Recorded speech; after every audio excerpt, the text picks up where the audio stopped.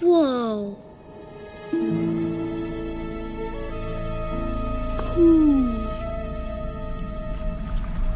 Saved your life. Oh, you guys made me eat. What's that? I know what that is. Oh, oh, Sandy Plankton saw one. He called. He said it was called uh, a butt. wow, that's a pretty big butt. Oh, look at me! I'm gonna go touch the butt. oh yeah? Let's see you get closer. Okay. Beat that. Come on, Nemo. How far can you go?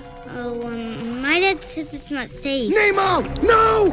Dad? Ugh, you're about to swim into open water. No, I wasn't It's just a good go thing I was here. Dad, If I hadn't no, shown up, I don't sorry, know- afraid. No, I wasn't. This does not concern you, kids. And you're lucky I don't tell your parents you were out there. You know you can't swim well. I can swim fine, Dad, okay? No, it's not okay. You shouldn't be anywhere near here.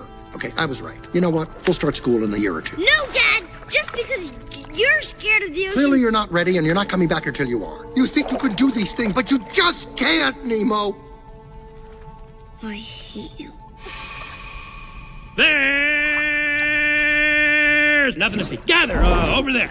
What the gosh darn heck happened? You know, I'm sorry, I didn't mean to interrupt things. He, he isn't a good swimmer, and I just think it's a little too soon for him to be out here unsupervised. Well, I can assure you he's quite safe with me. Look, I'm sure he is. But you have a large class, and he can get lost, you know, from sight if you're not looking. No, I'm not saying you're not looking. Oh my gosh! Nemo's swimming out the sea!